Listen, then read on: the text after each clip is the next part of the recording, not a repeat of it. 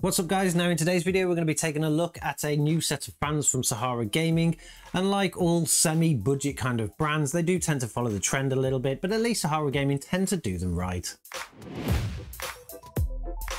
These are the new Sahara Gaming Mirror 12 120mm fans. They do actually only come in white at the moment. They have said that maybe they will do them in black at some point. They're IARGB fans. They are modular, so they actually string together like this. These ones here actually came out of a case that they recently sent us where they kind of provide that many. But generally, if you buy them, they will come like this. They'll come separately bagged and you tend to buy them in threes. We do have a little bit of an odd number here because that's what we requested and that's what they sent. And you get everything else that you need to be able to hook them together. Now being modular fans, that means you can click them together and it's going to reduce the amount of wiring that you get. But if we just get them out, we'll show you exactly what you get. The fans themselves are 120 millimeter fans. They do have a speed ratio of around 200 RPM to 2000 RPM, which is actually pretty high for a case fan to be fair. It does mean that you could potentially use them on on an actual cooler, which is pretty cool because of course you'd probably want to match up your fans if you were building the system and if you had an AIO or if you had water cooling, you want of course your fans to match. So that's great that they would work there. That means that they are a hybrid design. So everything is pretty good on that one. When it comes to the ARGB lighting, we do have an infinity mirror inside the middle, which does look very nice when it's on. There is ARGB lighting on the inside of the circle here and then we have this kind of pattern kind of thing all the way around the edge where the ARGB lighting's actually going to shine through.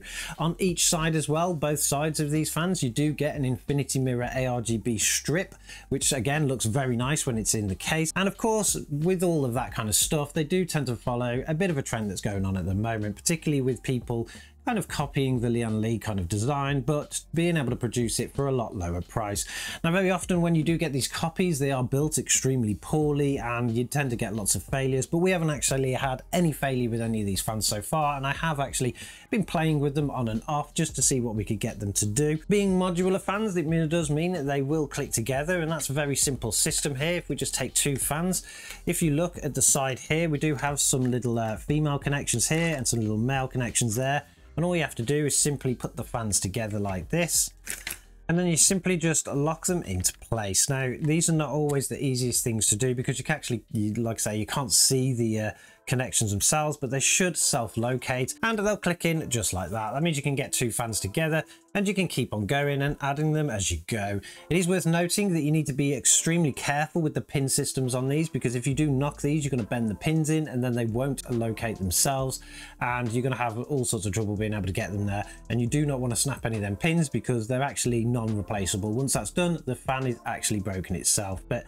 we can just keep adding these fans together and they kind of just go together quite easily just like that. Now we have two strips there of three and like I said before these other fans actually came out of the case that they provided us and they are slightly different but we'll take a look at them in a second.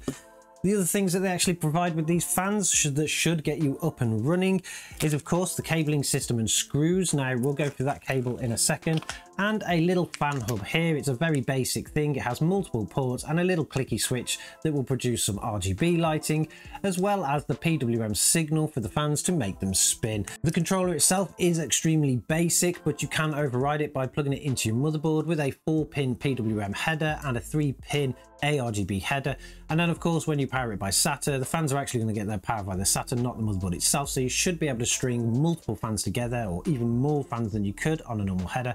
But it does give you the option there if you don't have a header, if you're somebody fitting these into an older system where you don't have a pre-built in kind of ARGB header system or anything, this controller will actually get you up and running and it will work perfectly fine. With the three fans as well, you do get this other cable here, which is the one that you need to be able to connect it to the uh, controller itself or your motherboard header. It does come with a proprietary connection here, which is going to go onto the side of the fans and connect to those pins, just as if you are connecting another fan together. And then on the ends of it, you do have a three pin ARGB connection, which is great. It's good that they're not using proprietary connections on the ends here with a three pin ARGB pigtail. So you can actually string multiple fans together. You don't necessarily have to put them all on the hub. You can string multiple kind of fan groups together as well, just using the cables. And then they've also provided the same when it comes to the fan power. You do have a four pin PWM connection here with a little four pin PWM connection pigtail so you can also string that along as well. Now one thing that they do miss when you actually buy these kits and you have to be aware of this when you actually start putting things together is you will need to design this out because if you are buying a kit of three and then another three and for let's say you want three in the top of your case you want two linked together in the side of the case and one in the back you will only actually have received two of these because you'd have bought the two fan kits. They did say that they were going to make these available separately, so you should be able to buy these connection cables separately at some point. So if you need to be able to do that, you need to kind of weigh it into the cost. But if you are just running two sets of three, then obviously this will be enough. And also one little hub will be enough, so you'll probably have a spare hub as well. That does need a little bit of thinking and designing, like I say, but it's not impossible. You can actually get away with it. These sets as well, when you buy the three fans together, will cost around 35, 36 pounds if you buy it from their website. So the price isn't all too bad.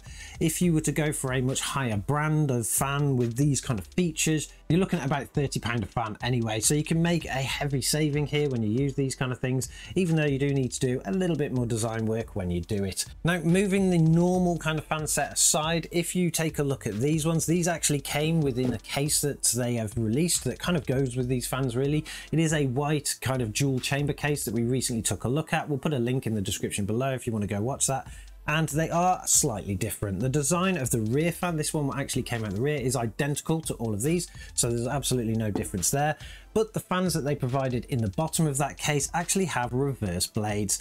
So this means that if you were to actually fit the fans into the bottom of a case because you want to draw air up in, you don't actually see the backs of them. You're actually going to see the tops of them and that's actually going to draw air in. Whereas these ones would potentially sit at the top of your case, exhausting the air back out again.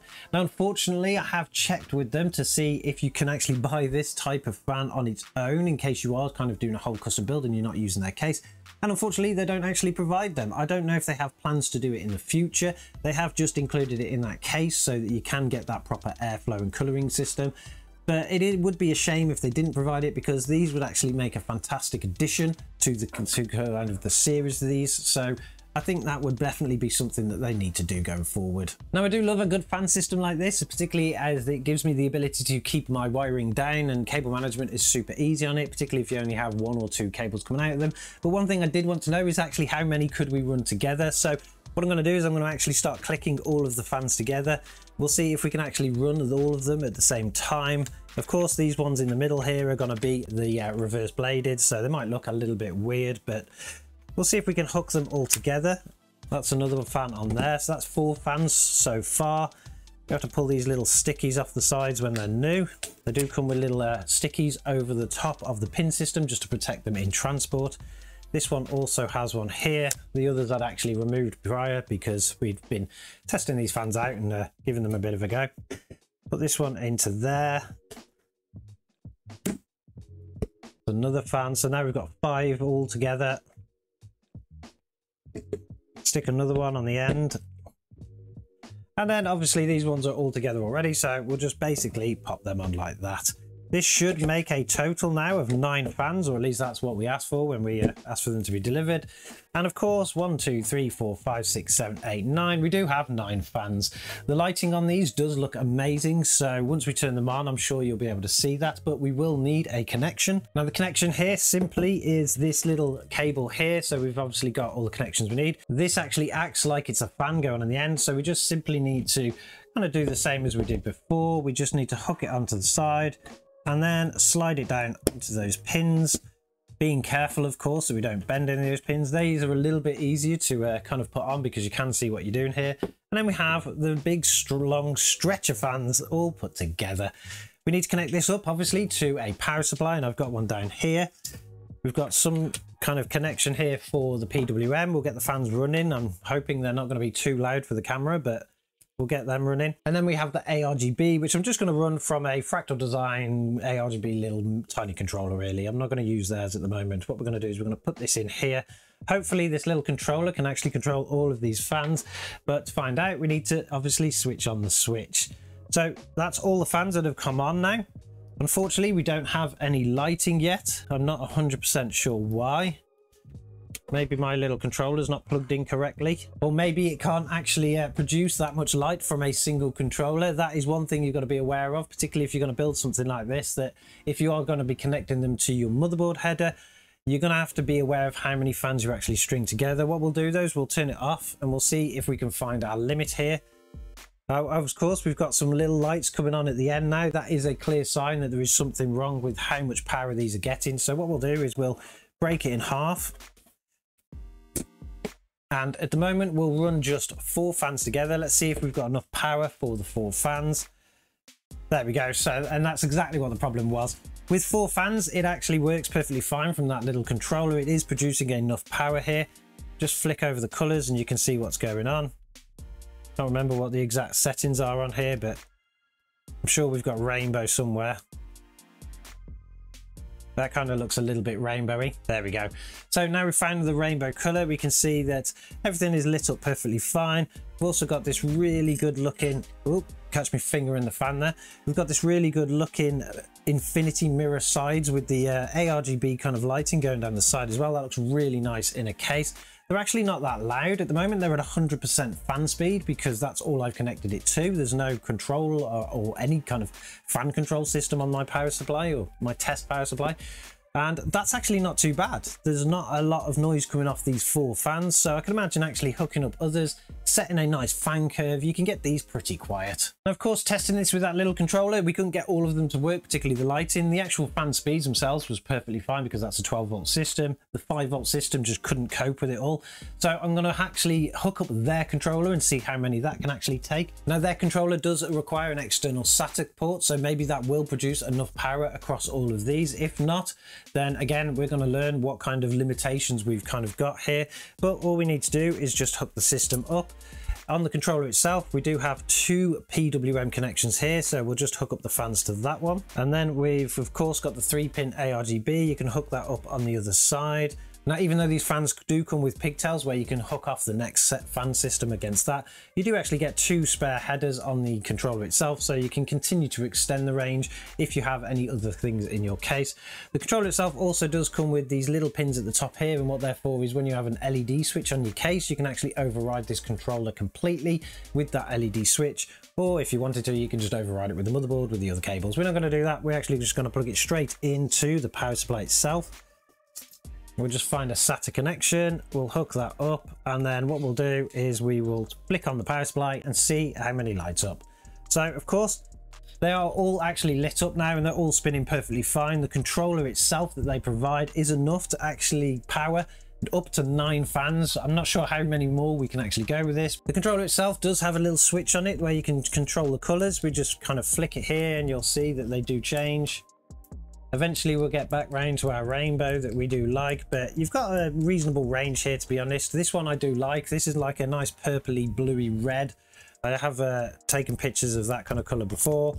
If we go around again, we've got static colours, static colours, kind of a merged pinky bluey red kind of colour. And then we'll go back round. Eventually we will get to, so there we go. We've got back to the rainbow. Now, of course, this is actually working perfectly fine. You can fit as many as you want according to this on there.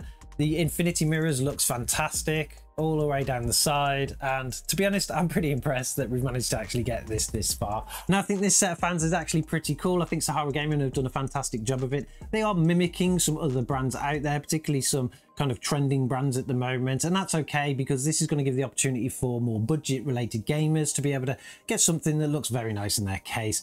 As i said before there's certain fans in here the ones with the reverse blades don't come on their own. You can't actually buy them or at least you can't buy them at the moment. They do only come in their new case so if you do want the reversible fans you're gonna have to buy that case but the case does look amazing as well and i'm sure if you are buying fans like this you'll want something that looks pretty cool like that too. Let me know in the comments below what you think about these fans. Are they something that you would consider for your own system or do you tend to go for the more premium branded I'm actually quite impressed with the quality of these fans because usually when I do get this many from a brand, at least one doesn't work. But in this case, they all work perfectly fine and they're super quiet and they look amazing too. Don't forget to subscribe to the channel if you want to see more content like this because I'm sure as it's coming up to the season of dropping new things, there's going to be lots of brands sending stuff. And I'm sure as always, we'll catch you guys in the next one.